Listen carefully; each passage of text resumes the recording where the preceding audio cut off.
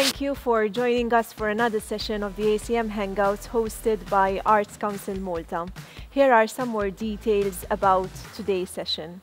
Why should we target younger audiences in cultural programs? Why is this relevant in the long run? Are we doing enough to cater for young audiences and to ensure their engagement? In this session, we are discussing the relevance of considering young audiences as a main target audience for artistic projects and the process involved in creating work for young audiences. We will also be exploring the challenges which the sectors are currently facing in relation to the subject. So joining us for this session today are Denise Mulholland, freelance director and educator, and Kate van Eckfield, learning and participation manager at Teatru Manoel. Welcome and thanks for joining us. Thank you. Thanks. So my first question is why is it relevant? Why is it important to cater for young audiences, to create performances specifically for young audiences? I don't know. Denise, would you like to go first? Yeah, um, I mean, I think my experience, my whole life has been in theatre, and it started when I was about six years old when Scottish Opera came to my school to do a workshop. Um, and it was Hansel and Gretel was the opera, and we all got to play different parts within it. I got to be the witch, no surprise. And um, I, I, we they took us up to Glasgow after that to watch the show, and it was just. I mean, it was life changing. It absolutely was. Watching these people and thinking, well, you can do this for a living. You can actually, this is something you could do for a job. It was so inspiring. And if they hadn't come into the school, I'm not saying I wouldn't have discovered it at some point, but it opened my eyes to it at a very, very early age. And if you think about the these little sponges, these these kids who are just waiting to soak up everything that you have, to expose them to things which are uh, to do with their creativity, things like other than the academic subjects, which are fine, you know, they're great. That's a huge part of their life. But exposing them to music and drama and dance and other subjects, it's crucial for them. I think not only in school, obviously, which I'm sure we'll talk about as well within the curriculum, but then giving them the opportunity to go and watch performances which are tailored specifically for them. Mm-hmm. So they feel that they're really engaging with the artist. They feel that they're getting something out of it, and they feel like they're they're kind of being acknowledged somehow. I think it's it's for me. It's always been one of the most important things. Full stop. Kate, I'm going to be a bit of an echo. Um, I have a, a, an interestingly similar experience, um, although not not with a visiting company, but um, having grown up with an opera-loving family, so hearing it from a very young age um, in the house as a normal thing to listen to, just like pop was and musical theatre. Um, being exposed to going to galleries, uh, just in general, like the artistic world around us. I think that I had that from my parents, really, um, and my family. But um, in my experience, uh, I came to it a lot later as an opera singer, where I never ever wanted to work with children. And I, I went into an, an, one of the uh, all opera companies do this now, but it was um, one of the first companies I worked for, and yes, they wheeled us all out. Mm-hmm. It was part of our contract to do this. What I had considered to be terrible thing that I had to go and work in, with children, mm-hmm. and actually, once I got there, it was noted that I really was enjoying it, and then they invited me back to actually run a whole thing. And, and from there, the rest of my career has, has really gone from that. So, yes, it's when you, from whichever side, you see why it's important to, and, and the impact it has on further, which I'm sure we'll talk about. But um, for me, young audiences, when you're creating something for young audiences and why it's important, is because it isn't just about the thing they're seeing, it's about what you're letting their brains do, mm-hmm. um, and but also the art in itself, of course. Um, and then that bleeding into them maybe going and learning something that they're interested in, whether it be that they take up, you know, acting or singing lessons or dancing or whatever, um, to have that interest throughout their life, and therefore that's a future audience, and then it's cyclical. Mm-hmm. Yeah. So, so in reality, we are saying that this kind of impacts their possible direct engagement in the arts at a later stage. Mm-hmm. So, um, but but not just that, right? There are, and you did mention Denise, other aspects that that are going to help them. So, and, and always all sort of manner of socializing and Mm. interacting with people and developing empathy skills and Mm. so many different things. Apart from the fact that even learning a musical instrument, um, I mean, I my family was not an artistic family at all, so you know, it was sort of you know. Um, Scottish music playing ad nauseum because my father listened to it all the time. Um, but you know, I never went to the theatre. We th- it wasn't part of my, my life. So for me, it was the school that really Mm. introduced me to that. We had an old piano, and I was lucky enough to go to piano lessons at school because those were the olden days when peripatetic teachers would come in and you would be given free music lessons so you could learn how to play an instrument.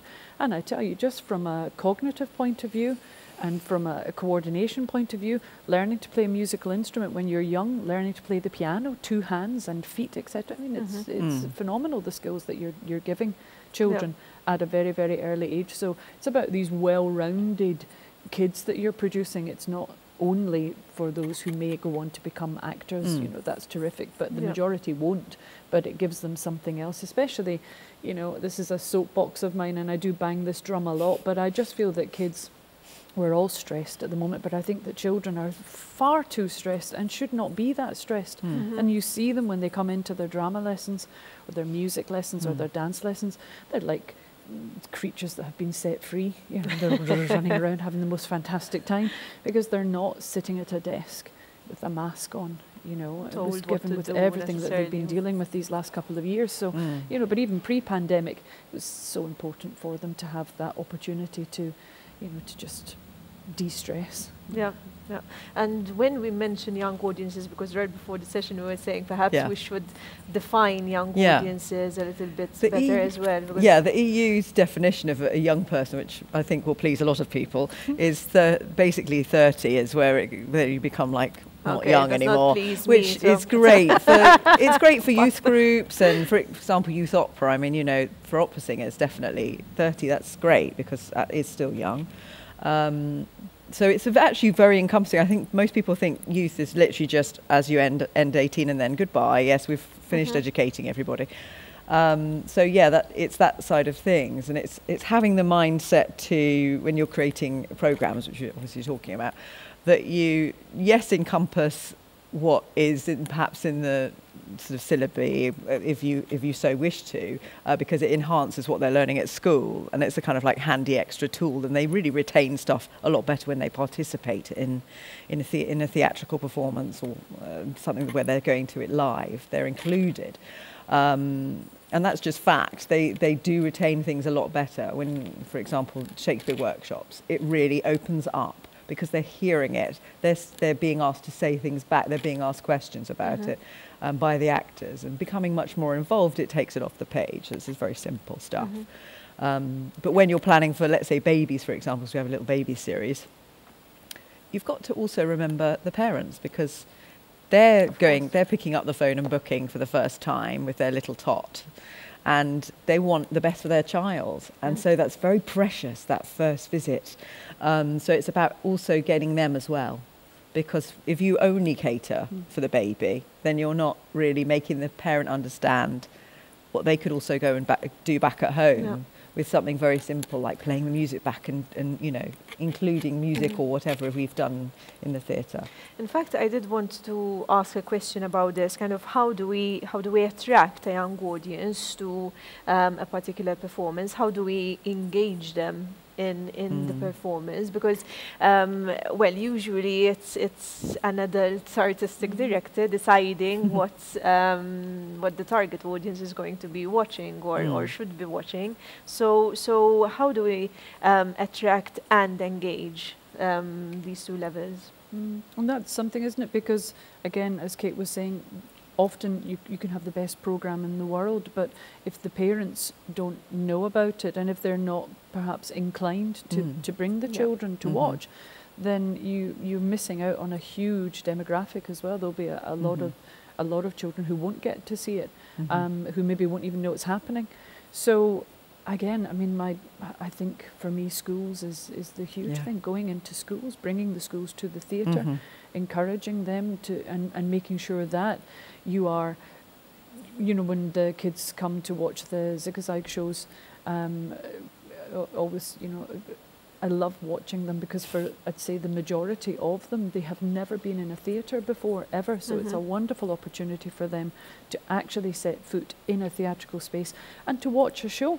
And then afterwards you know we see and we chat to the kids sometimes and things and you know they just how do you learn all those words and, and how does this work and, and what and you know there's etiquette and things involved as well but you know, to be honest you know they have such a great time and you hope then that if you get them like that that Mm. perhaps they will come back to something else but the, this is like a fire that needs constant feeding Mm. you know you can't just give them one thing and then hope that that's going to be enough you have to keep you have to keep giving them things you have to Mm. keep showing them the opportunities But how, how do you do that? As in, do you um, just propose a number of different programs? Um, do you reach out? Um, I don't know if it's the correct term here, but um, do, do you kind of, um, how do you communicate that to, to a young audience, especially a teenage audience where we know that uh, there's some sort of gap, Mm. right, in, in, in audience following? So I wonder what you Yeah, think the about dreaded teen audience. It's, it's like the sort of gold, you know, you, you, you really, we strive for them because they are, I mean, going back to your point about being stressed, none more so, I think, than the teens, Yeah. um, particularly 12 to 16, I would say. Um, they're, you know, they have a lot on. Um, and then they have all the extra stuff outside of school as well. And then we're saying, oh, but you also should try this too. Um, and so, yes, so it is tough. They're, they're definitely, I think, the hardest audience because if they haven't ha- experienced the from young, from a young age, and therefore the parents and indeed the schools, you're quite right, um, schools absolutely 100% are actually the top of the tree. Um, without schools and, and outreach and inviting schools, um, unfortunately, especially for obvious reasons because of the pandemic, we have not been able to do it. So there's a Yep. huge dip. So just to sort of talk about that just briefly, it is a big uphill struggle. Um, Mhm. so we need all schools, and, and, and you know there are people within each school that are really the ones who push for the, the trips, Mhm. and we need You're them to really now, Kate, right after the after, after the pandemic. and Sorry, yes, yeah, after the pandemic, and obviously we haven't been permitted to go into schools Of because course. they stick to their bubbles, and quite right. Um, so the only shows we've done have been with families. So that's sort of in my head. But of course, Mhm. we're we're constantly having that conversation about when can we come back, um, and once that's the case, where we can restart uh, that, then outreach is definitely, I think, Yeah, the sure. most important thing because you can create a show for in our case it's mainly in our studio theatre which is a black box theatre um, so it's a very intimate space which is great for first experience because you're you're really there they can really see you and feel you and you're not this sort of person over on the stage far away. Um, but then those type of pieces can can travel very easily. Um, and that's the that's the goal really Mhm. um, to, to get into their faces and, and be with them and have that them have the experience with the artists Mhm. So it's kind of demystifying it a little bit as well. You know, you Mhm. go into the schools and things, obviously like Culture Pass and things. You know, they Mm. they that was all going so well pre-pandemic. you know, we were able to take operas into schools, Mhm. and there were children's operas. You know, Little. Red Riding Hood, things like that. Things which had been written specifically for young audiences with a lot of audience participation and things. Mm. But obviously, you know, we can't we can't do that. Hopefully, that will start opening up again. Mhm. But you know, those are the experiences that the, the, the, the children need, and not just the children, the young people as well. I would put into that Mhm. the, the the teenagers as well. Yeah. Mhm. Sometimes it's not practical for the schools to come to the theatre. You know, we used to have that all the time Yes. because then it's a logistically there's a lot for them to think It's about. it's easier sometimes for the theatre to go to the school Mhm. you know, and sort of take a, a small scale touring production that can pop up anywhere and kind of show them that as well that it can Mhm. pop up and it doesn't need to be in a you Mhm. Exactly.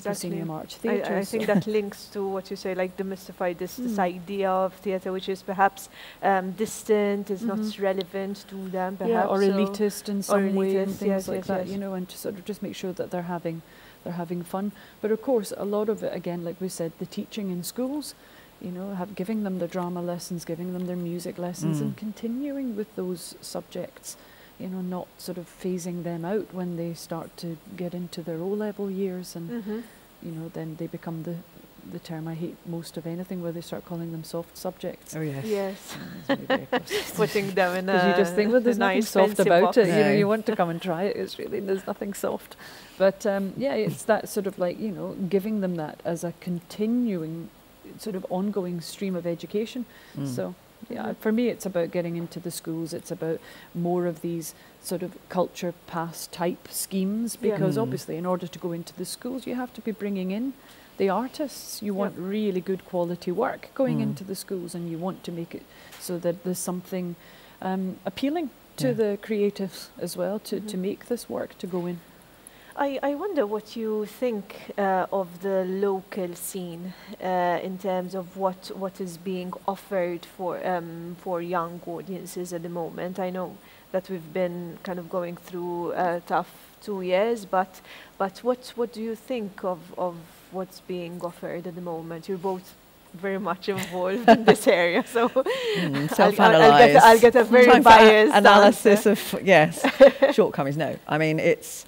Uh, so I, I can only speak on, on behalf of what uh, we're trying to achieve at Teatru Manoel, and that is essentially to cover a huge range of ages with lots of different projects, and that actually includes, but not for this conversation, but it actually includes um, the elderly as well, um, because th- th- that's a, a separate thing, but I think important. Um, yeah, I think we have attempted to and, and delivered in, in many aspects, particularly because, again, because of the pandemic, we, we put a lot of our funding into the filming. Mhm. Um, and I think that was seen from many other entities too. Um, and creating work for film, which massive learning curve for thea- theatre types because we, that's not our medium. Um, so we, we did that, and we, we collaborate with Żigużajg. Um, we've done two two operas uh, for children with them um, on film. Um, I would say that it, it's obviously never the same. So f- for us, it's so important that we do get back to or have some semblance of what we were doing before. Um, so very specific age structured pieces. Mhm. Um, and that could be, for example, we did a, a show last weekend um, for uh, Carnival. Um, and particularly because there wasn't uh, anything happening here, the, the, the floats were there, but it wasn't. It's not the official carnival, um, and we felt like, okay, let's see if we can create a show about the history of carnival. And history shows, I mean, the top being probably anyone's mind, Hamilton, something like that. No, no, we're not saying it was Hamilton, but, um, but bringing the children into the theatre and actually teaching them about the theatre, the relevance of how that applies to Carnival, all that sort of stuff. Yep. Um, they are going to retain quite a lot of that, and it was very fun, and it was in the style of a panto. Mhm. Um, and panto, of course, we could go. I could go on about that because I think that's probably most children's first experience, Exactly. really, because it's not seen as educational and therefore just for fun. And most fabulous panto producers have crammed in quite a lot of cultural and historical and Mhm. soci- socio in- information into into a panto. So all of that, um, and of course we we help produce uh, pantomimes at, at the theatre. But but in terms of the broader structure of what we try to do, yes, it's the age ranges. Um, so trying to speak to those those different ages. The most popular used to be, um, we're hoping it will continue to be, the three to five year olds. Um, because they haven't got the commitment of, of the school day and, and the mums and dads course, can, can, can come to those. for, so for very popular and of course great age to get them as well Yeah. and get them interested in coming Yeah.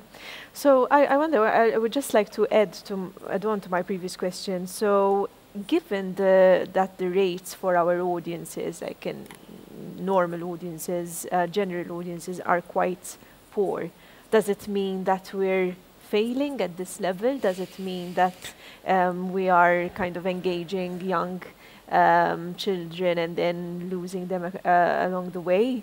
What could that possibly mean? But um, I hate to sound like a like just you know like I'm just repeating, but I do think that the way that these subjects are tackled in schools, I think Mm. the way that they're presented in schools, I think the way that the arts in general are presented is a huge thing because if it's seen as something which is a bit extra, if it's seen as something which is not a viable um, career choice, whether that is becoming a lighting designer or a costume designer or a set designer. You know, there are so many Mm. aspects to it, which I think um, now I know they're starting to come in, for example, with the, um, the GCSE Mhm. uh, syllabus, you know, that they are starting to cover those things and they do have to sort of have a little look at different aspects of theatre, not just performing or, or writing, which is really good.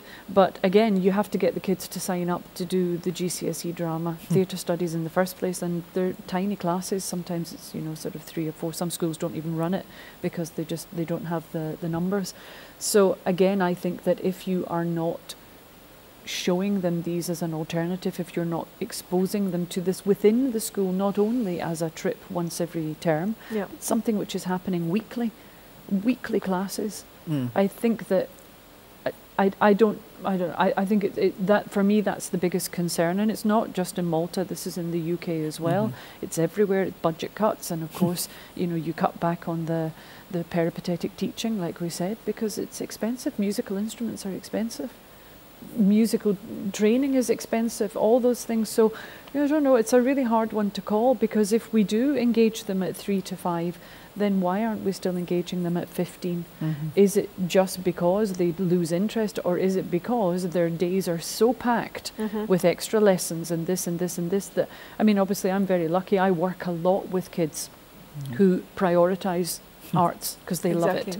So Yeah. I'm I can't tell you how lucky I am that I'm surrounded by sort of 13 to 20 year olds Mhm. whose lives are singing, dancing, acting, musical instruments, theatre, Mm. youth theatres, TMYT, SOPA Youth Company. I mean, they're everywhere.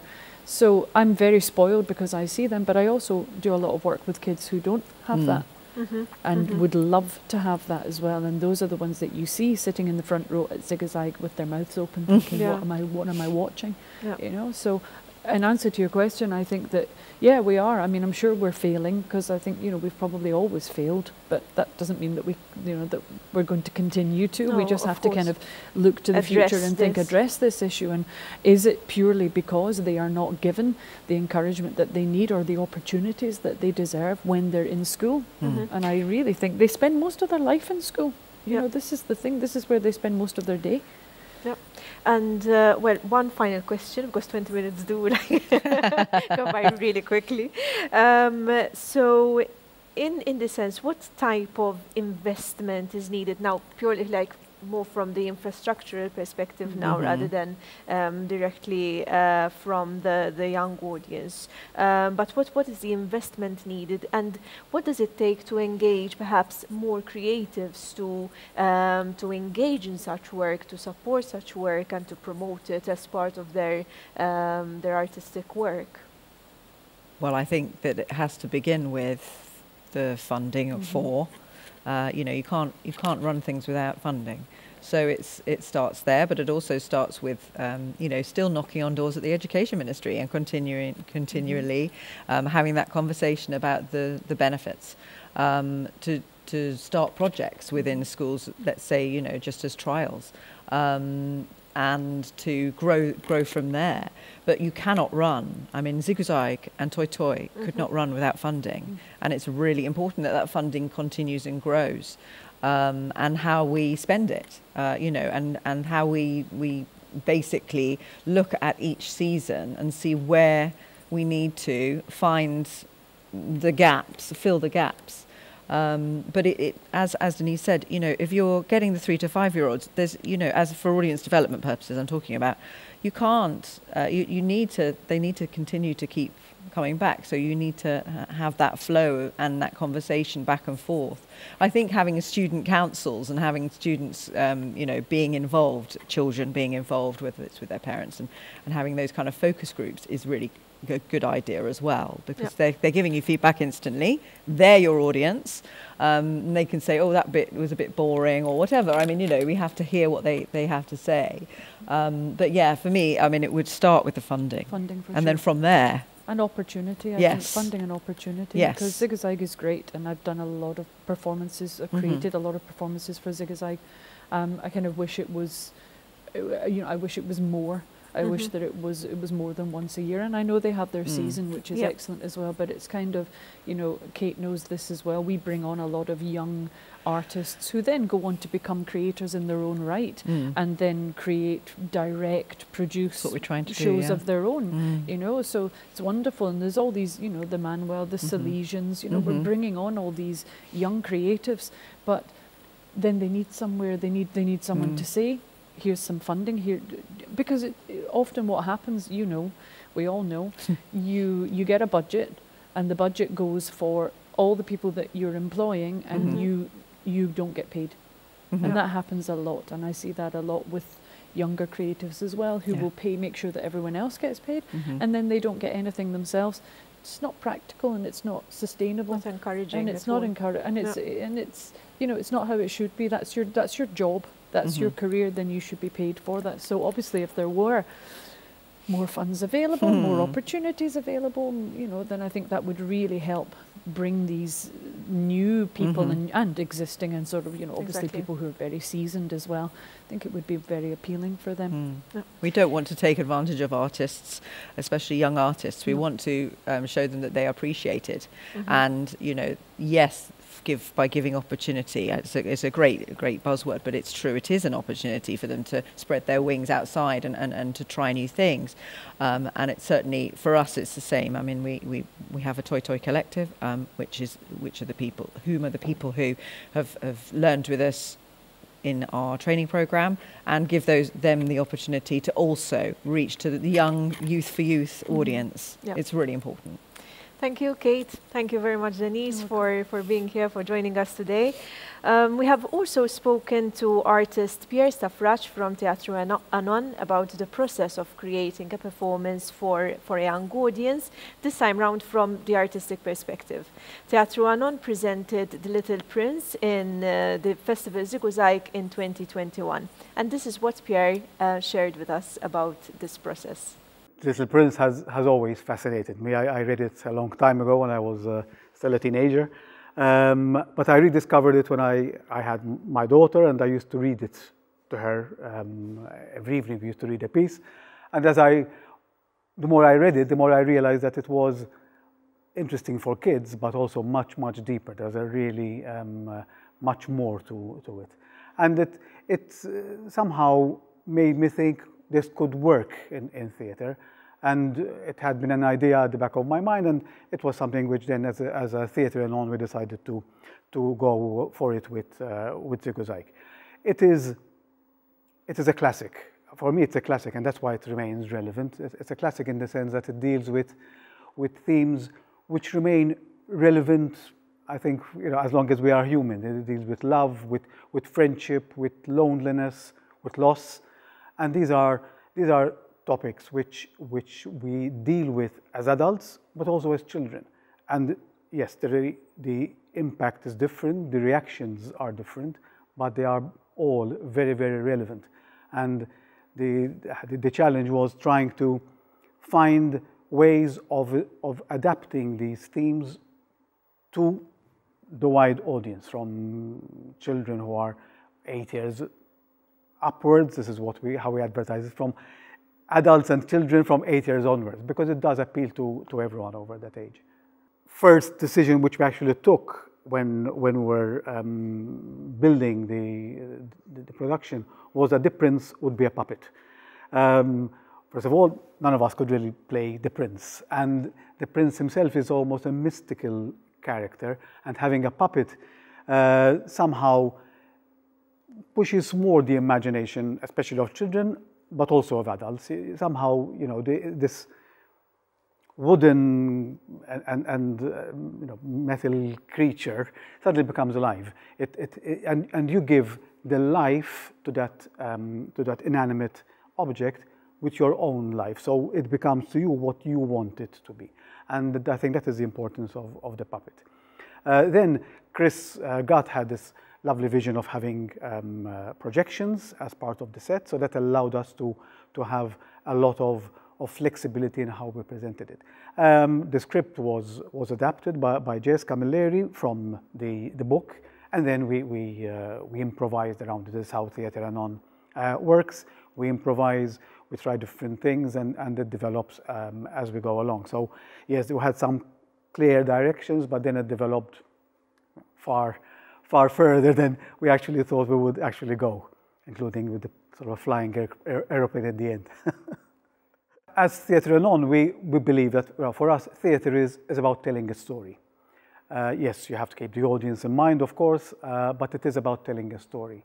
And this particular story is, is well, quite difficult because it, it is on the surface a children's story, but really it goes much, much deeper than that. But although in that, in that sense it's difficult, it was also easy because we could adapt certain things for, for children. So, I don't know, the costumes, the scenery, um, some of the repetitions, uh, which were very, very appealing to, to children, and, and that kept them really interested. And we were almost surprised that, that for a whole hour, you know, the, the kids were, were really involved and, and enthusiastic about the production. But also the adults could, could relate to the story, to the words.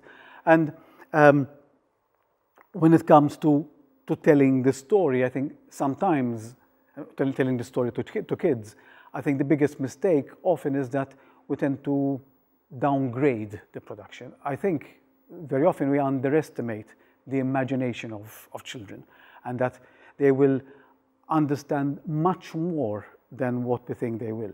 It's interesting because even, even uh, in Little Prince, the first few pages, Antoine de Saint-Exupéry makes this big sort of contrast between children who are imaginative and who are not um, burdened by, by the rules and regulations of how we think against adults who want to put everything in a box.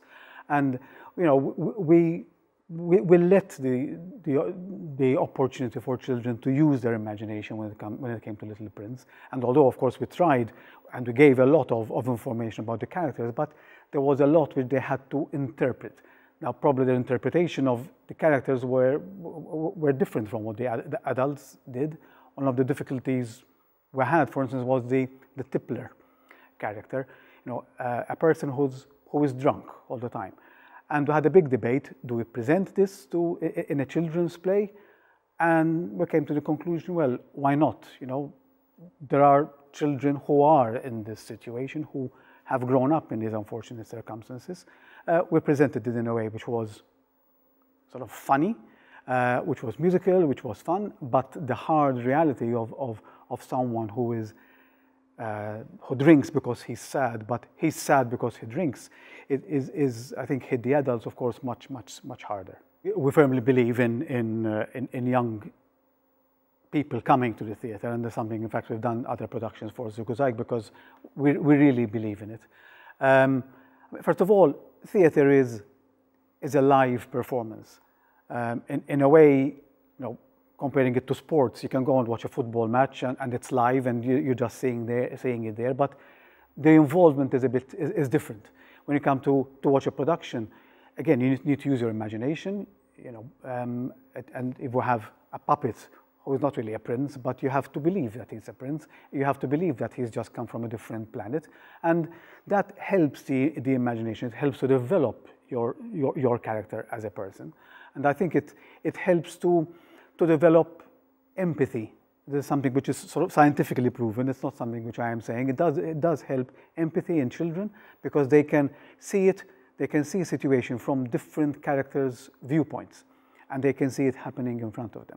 And it's, it's live. I mean, it, every show is, is unique. We had situations when uh, performances, when uh, one of the children just ran up, ran outside or started shouting and you know, we have to react to that as, as actors, and the reaction is always different depending on what is happening in the audience. And, you know, again, on our reaction, the audience also reacts uh, differently.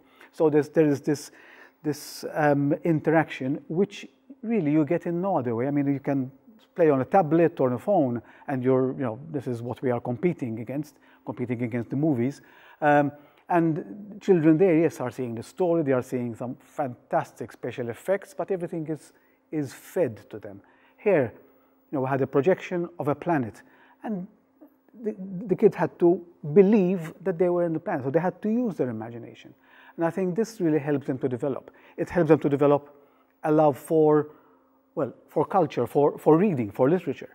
I mean, it was it was great that after after the show, we are talking to to the children, and they came backstage and were playing with the prince, um, and we're talking, and it was great to hear. That some of them told me, "I never read the book, but I want to go and read it." Oh, and parents saying, "I'm going to buy them the book because they really enjoyed it," and that for for us was such such a great joy because it really showed that that it, that the production worked on different levels, on on appealing to to the children and to the, to the adults who are also, I think, quite fascinated by, by the story and by the production itself. Little Prince is a book, so we had to adapt it a little bit to make it, to make it more theatrical. So we had to uh, introduce Antoine himself, Antoine de Saint-Exupéry, the, the, author, who became uh, the main character with, with the prince. And when, again, when reading the book, we saw there are many, many parallels between his life, his real life, and, and the, the character in the book.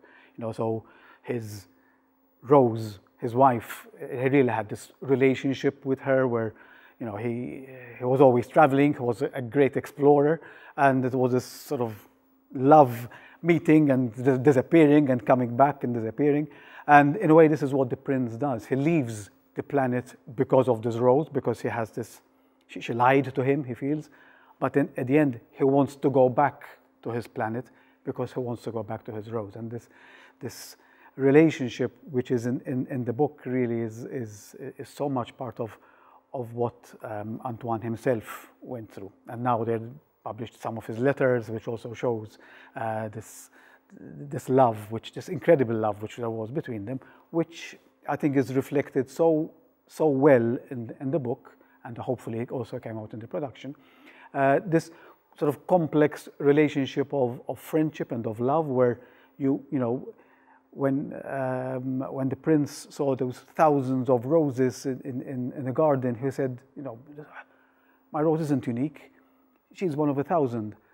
But then the fox told him, your rose is unique because she's yours, because you will love her. And that is something which I think we all need to, to, to believe in, in our relationship with, with people. In this session, we also spoke to Marta Vella, who's the artistic director of Żigużajg, about the festival and its work in terms of creating and proposing works for young audiences, as well as its impacts and effects on the artistic community and audiences. Żigużajg has been with us for the past um, 12 years now. It's going to be its 12th edition this November. Um, I have been artistic director for the last two years um, so it's been a bit of a baptism by fire for me because obviously my first edition was November 2020, and we all know what happened that year. Um, uh, however, the festival has been a staple in the Maltese cultural calendar for all, really. Um, the festival's inception started because there was such a great need for work for children and um, young audiences specifically why is it important to create um, work uh, for this target audience? Um, the reasons are plenty, which I'm sure that my colleagues really went into today. Um, apart from, you know, uh, the importance of the arts, um, its educational value, um, how uh, how it, you know, transforms children's imagination. There are many, many reasons. For me, what's incredibly special and um, something that's incredibly close to my heart, especially when it comes to the festival, is that um, we basically have the honor to be uh, the very first theatrical experience many of our audiences go to. Um, and I think that's that's an incredibly wonderful thing. I think that um, you know to have an individual to say that the first time I went to the theater, the first time I saw a show, um, and obviously, in true Żigużajg fashion, it will be um, a very quirky, creative, lovely, magical show. Um, would be through the festival. Um, um, I think I think that's that's personally my favorite thing about about the festival, and that's also what makes the festival so so loved. Um, inversely, you know, I think that children and young people as audiences are also very important for um, um, the artists themselves because they're the most genuine audience you can ever have. So um, you know, both positively and negatively. But then again, you know, um, you kind of get back whatever you dish out. So um, it's a bit of a an open sort of coliseum style, arena style um, energy when you're performing in front of kids because obviously they're so genuine and they have no filter. So um, if they don't like your show, if they're bored, if they don't think you're good enough, um, they will let you know, you know. Um, and that's kind of how theater used to be. So the normal conventions of theater, what we what we understand, you know, is very rigid um, and um, and well behaved, you know, etiquette of uh, being quiet, being silent, and not reacting. And this is actually um, um, kind of stemming from the Victorian era when the monarchy started attending the theatre. So, kind of the rowdy crowds were made to go silent and respect the sanctity of the theatre. Before, it was very much of a back and forth sort of traffic. Um, and nowadays, we only kind of have this experience in somewhere like um, a panto, where there's you know a lot of audience interaction. There's a lot of back and forth, the callback, you know, the traditional callback. Um, in fact, you know, uh, I always feel a little um, thrown off and a little discombobulated when you know schools come in and you have teachers parents, you know, shushing um, children, obviously to be well behaved at the at the theater, of course. Um, but uh, but yeah, I think that the spontaneity that you know children and young audiences are um, is just something really really magical and really special. Um, something we have also done this year as part of Żigużajg, and we intend to always keep growing this base, is that um, we have had an accessible program uh, throughout. So we've had at least one performance, one relaxed performance of any production we had programmed for the festival. Um, um, this is something that's very close to our hearts and, you know, that we're very, very proud of. Um, uh, because within you know any audiences apart from our mainstream audiences there are audiences there's a slice of our population um, that just has different needs. Um, and it is our duty as artists it's our duty as theater makers to um, provide this access really. Um, and i think that that's what that's what real inclusion is. Inclusion isn't tokenism. It isn't um, about creating something specific because um, real inclusion is that everyone in the audience has access and has you know the right to the same program. So um, that's also something that um, i think holistically really really really um, benefits all audiences not just you know accessible audiences but even having you know schools and having uh, classrooms and kind of classmates share that experience together watching you know um, a relaxed version of a show um, Żigużajg is in its 12th year now, as I said, and um, the last two years we've also worked on a digital program. Um, and this is still, you know, it's funny because it's still something very new, but it feels so old now because we've been living digitally over over over the last two years actually. Um, um, but that was also a very surprising hit um, because as much as we love art and we love live art, um, and you know we we want to move away from screens and want to go back into the world.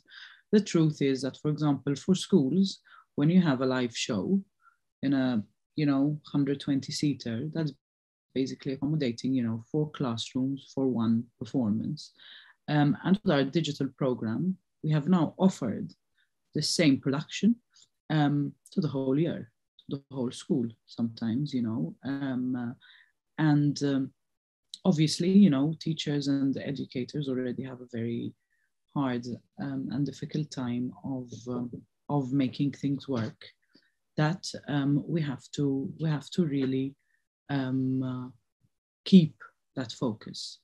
Um, and um, given that given that they have the flexibility of the work and given that they have the flexibility of um, having the program and sort of streaming it within their own classrooms, within their own timetable without worrying too much about it.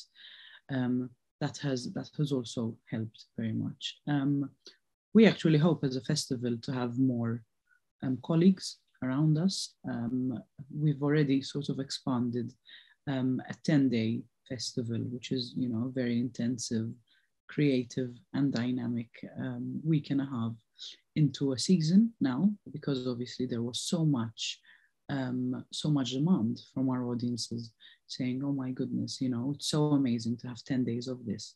Can we please have more? So um, there's now a Żigużajg season spread over the year. Um, and we obviously just hope that um, we will increase this work because it's very popular, um, not just, you know, on this island, but it's also incredibly valuable for our young audiences.